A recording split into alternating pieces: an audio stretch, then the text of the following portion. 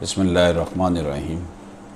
دنیا میں کہیں بھی ایسا قانون نہیں ہے کہ کوئی مذہب چینج کرتا ہے تو اس کے لیے اس کی عمر اٹھارہ سال ہو، وہ عدالت میں جائے، وہاں بیان دے، پھر اس کو جج صاحب جو ہیں وہ کسی اسکالر اسی کے مذہب کے اسکالر کے پاس بھیجیں اور اسے بتائیں کہ جناب اگر آپ مسلمان ہونا چاہتے ہیں تو پہلے اچھی طرح سوچ سمجھ لیں، پھر اس کا وہ انٹرویو لے، پھر اس کو مسلمان کرے۔ یہ شوشہ جو ہے، یہ ہمارے ملک میں آج کل چل رہا ہے اور لوگوں کو مذہب سے اس کی بنیاد یہ بنائی گئی ہے جی لڑکیوں کو زبردستی مسلمان کر کے ان سے شادی کر لی جاتی ہے۔ سندھ انٹیریئر میں، بلوچستان میں، حالانکہ پاکستان میں جتنے اقلیتوں کو حقوق حاصل ہیں، اتنی اکثریت کو بھی نہیں ہے۔ اس حوالے سے ہم سمجھتے ہیں کہ حکومت نے یہ شوشہ صرف عوام کے جو حقیقی مسائل ہیں، ان سے توجہ ہٹانے کے لیے سے شوشہ چھوڑا ہوا ہے کہ وہ جناب قانون بنا ہوا ہے اور ایسا قانون بن ہی نہیں سکتا اس ملک میں۔ یہ صرف جو ہے نا لوگوں کو آرے لگانے والی بات ہے۔ یہ حکومتیں پچھلی حکومت بھی اسی طرح کرتی تھی، کبھی کسی قانون سے چھیڑ خانی۔ مذہب ایک ایسا ایلیمنٹ ہے، انہیں پتا کہ پاکستانی جو ہیں مذہب پر عمل کریں یا نہ کریں، لیکن یہ اس معاملے میں جذباتی ضرور ہیں۔ اس حوالے سے ہمارے بہت پیارے محترم بھائی ڈاکٹر ظفر اقبال نوری، انہوں نے چند حروف لکھے ہیں۔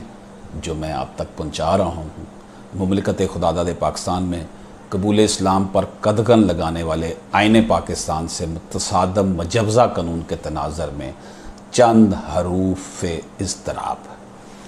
اقبال، تیرے دیس کے ناداں، یہ فرزند کہنے لگے ہیں زہر حلالل کو بھی کند ابلیس نے تبدیلی کی یہ راہ دکھائی، محکومی اغیار پہ ہونے لگے خورسند۔ کیا تیرے حسین خواب کی تعبیر ہے سوجی؟ کیا تیرے حسین خواب کی تعبیر ہے سوجی؟ آزاد یہاں کفر ہو، اسلام ہو، پابند۔ کہتے ہیں پرانا، یہ وطن راس نہیں ہے۔ گمراہی پہ تجدید کی کھاتے ہیں سوگند۔ کیا نادر و نایاب یہ جدت کی ادا ہے؟ کرنے لگے اسلام کی تبلیغ کو ہی بند۔ جس دیس کی بنیاد ہی تھا کلمہ توحید، ہونے لگا اس دیس میں کلمہ بھی پابند۔ سرکار سے پوچھے بنا مسلم نہ ہو کوئی، چے ضابطہ کفر، چے قانون۔ بے بس تند۔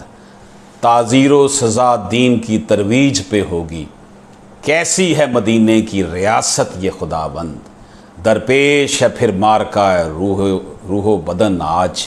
اے کاش غلامان محمد ہوں ظفر مند محترم ڈاکٹر ظفر اقبال نوری صاحب کا یہ کلام